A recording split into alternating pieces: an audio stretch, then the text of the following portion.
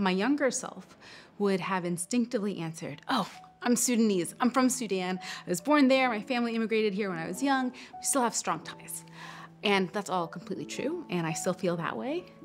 But at the same time, I am realizing how much more of a member of this Sudanese diaspora community I, that I am as opposed to someone who is just purely Sudanese.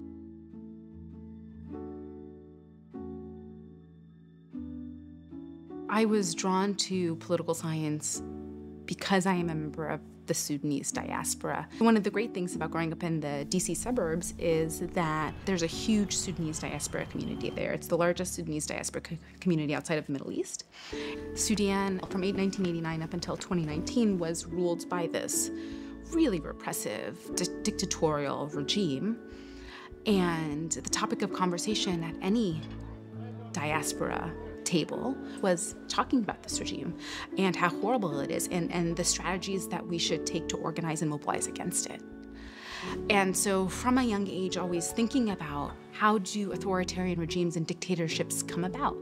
How do they sustain themselves? What explains regime durability? And so I wasn't thinking about those questions within with the words that I'm using now as a trained political scientist, but I think the kernel of a lot of those ideas formed based off of my experiences now being a tenured professor, and I can take a little bit longer to work on my projects, and I can, in a sense, aim bigger. I said a lot of them are focused on Sudan, and so Sudan is a very difficult environment to research, and so for my first book and my first research agenda, I didn't touch Sudan at all.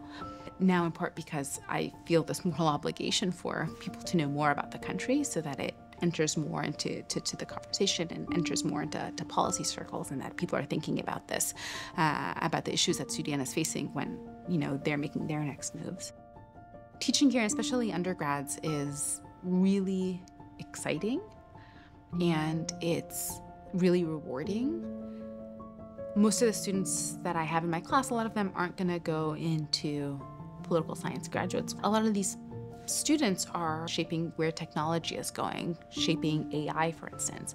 And so to, especially since I teach classes under, at the undergraduate level based on dictatorship and authoritarian regimes and tyranny, it's really nice to be able to connect with these students and help them understand the different tactics and strategies that these types of regimes use and have conversations and think a little bit deeper about what roles and responsibilities do the developers of these programs then have?